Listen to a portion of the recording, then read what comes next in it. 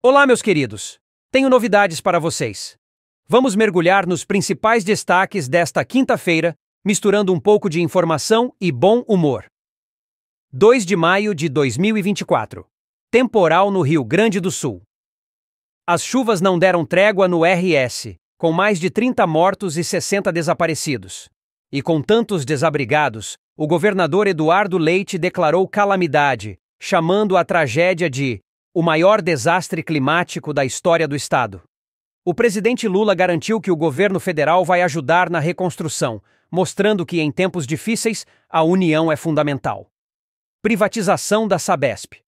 Em São Paulo, a novela da privatização da Sabesp teve um novo capítulo, com os vereadores aprovando a medida. Vamos ver como isso vai impactar o cotidiano dos paulistanos. Madonna no Rio.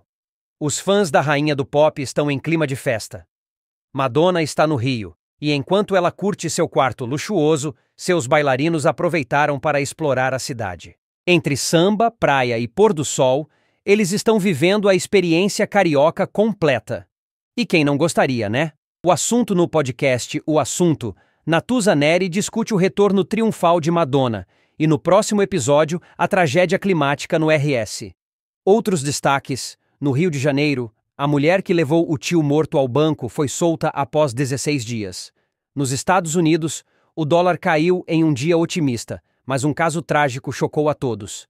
Um menino de 6 anos morreu após ser forçado a correr em uma esteira. E, por falar em ícones, Madonna vai homenagear Renato Russo, Cazuza e Betinho, provando que talento reconhece talento. Bruno Mars anunciou quatro shows no Brasil, e George Santos voltou a ser a drag Kitara Havashi nos Estados Unidos, mostrando que a vida é um grande palco. E mais. Qual será o próximo feriado após o Dia do Trabalho? As canetas emagrecedoras estão fazendo sucesso, e a empresa por trás do Ozempic está vendo seu lucro disparar. E em uma história digna de filme, a borracha na Amazônia já foi alvo de pirataria e até inspirou a criação de uma cidade. Espero que tenham gostado. Se cuidem e fiquem de olho nas próximas novidades.